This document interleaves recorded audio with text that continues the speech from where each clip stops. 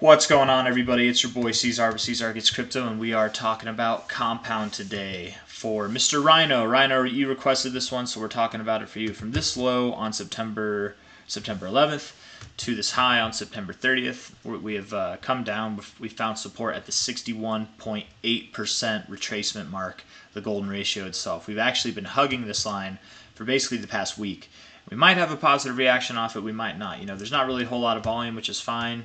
If we were to find a bottom here, that's a higher low. If we went down to the 786 or the 886, whatever, it's still a higher low compared to this low here. Um, I would expect this line to hold. You know, our daily RSI, it doesn't look all that good necessarily, but there are things that are good about it, right? Holding holding support on the 40, the staying out of the bearish area of control is nice.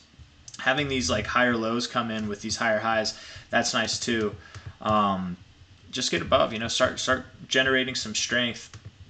Start having the price move up. Get a day that can close above here, above uh, 44, 34. We're sitting at about 41 right now, and then you know things will look a lot more convincing to the upside. Right now, I'd say it's kind of iffy one way or another. My gut's telling me to the upside, but um, you know I'm pretty heavily invested in this thing too, so maybe it's my bias. But uh, long story short, guys, you know I, I do think that it's going up from here. That is my my bias, my opinion.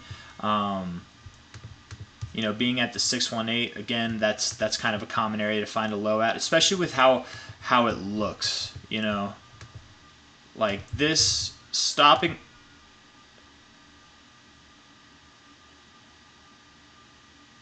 Sorry.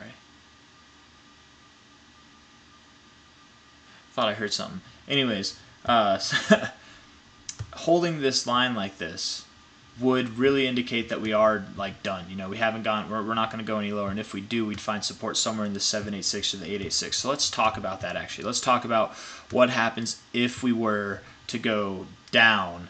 Is this an area that we could find support somewhere around here? Well, you know, we've found support here once before, twice before even. Triple bottoms aren't that common, but you know, it could happen. And, and the fact that we've held this uh, 618 like this, I would very much not believe that we see extensions to the 1618 or the 1272. Personally, I, I wouldn't expect that. So um, with that look alone, if we pump it out to the weekly and we go from this low to this high, you can see that we also found support on the 618 zone, hugging it, and then had a positive reaction away from it. Now the thing is, is we could go a little bit lower from this perspective and maybe go to that 618 or the 69 area here, find support in that range again. And I mean, it's overall it's the same it's the same thing as this uh, 786, right? If we're looking at this daily again from the low on September 11th to the high on September 30th, remember. Um, the 618 or no the 786 which again would be if, if you broke through this level um, where we would likely go. That's actually right by the 618 of this kind of overall uh, fib this greater fib and I know there's a lot of lines on here but this there's also like support here in price support here in price a little bit of resistance support support in this area right? It's somewhat significant um, especially in relative time so if we do go lower I wouldn't think that this thing goes too much lower than like $37 um, maybe $36 at like the absolute lowest. But from there, we would probably go up unless we're going up now. And if we go up now again, kind of what I was saying in the beginning, you'd want to see this daily close above 44.34. Anything below that, and it's just a lower high, really, right? And then we can talk about going lower. So um, high to low here.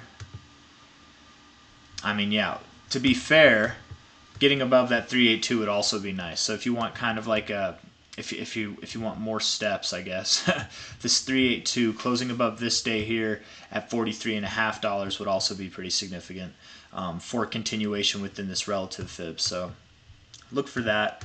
Look for that. Um, I think closing above $44.34 would really be significant. You know, it's not only just like this closing high here, but it's a previous area of resistance, previous area of resistance you know you're held down by it a little bit here even support right there um, support support support support. So I, I, think closing above that line this top line here would really be um, nice to see.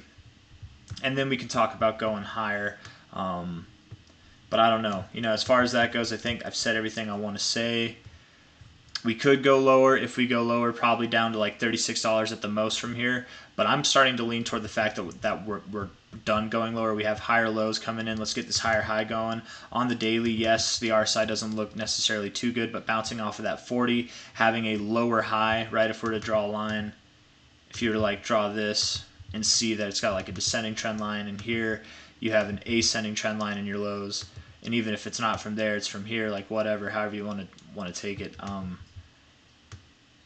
ascending lows versus descending lows would be hidden bullish divergence. And that would that would mark continuation to the upside. So we'll see how it goes. We'll see how it goes. For now, I'm bullish, but that can change quickly. You know, if, if uh, we're going to set a line up here for the bullish case scenario, let's set a line down here for the bearish case scenario. I'd say this low right here. Yeah, that looks that looks fine to me. Yep, previous area of support, support as well. Somewhat significant down there at about $38. Oh man, and I was saying that I don't think we're going to break 37 or 36. Maybe that goes out the window too. Things start to look bearish here, but I would say like based on this fib, closing below your 786 would not look good. Your 886 especially not good. So yeah, I guess those would be your last ditch efforts, but mm, I think I think holding this white line would really be important.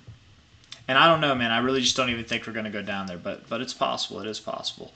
But uh, that's all I got for you guys. So if you like the video, leave a thumbs up, subscribe to see more. I am bullish on Compound. I know that all that was kind of a ramble, but but that's what I got for you. So take care. Oh yeah, if you if you stayed, if if anybody stayed to watch these last few seconds, I wanted to show this and I forgot. Um, we broke out. We broke out. A little bit, right? Not a lot of volume. I'd like to see more volume coming in. But uh, it looks looks like we're kind of breaking out of this zone, right? We yeah. Anyways, um, haven't we seen this before? Where you have a big move, you're bleeding down, and then you have dying volume. Haven't we seen that? Haven't we seen that? I think we have. Where you're having your big move and you're bleeding up and volume's dying right? And you flip the script. Right, right. It's like the inverse, right? Big move, bleeding down instead of bleeding up. Volume dying, flip the script. I don't know, man. Bullish, definitely bullish, I think, but not not officially bullish, I guess, until we close above uh, that day there. So again, leaving on that note. Take care, everybody. Have a good day. Thanks for coming. If you like the video, leave a thumbs up. Subscribe to see more. Um, and I'll see you guys on the next one. Take care.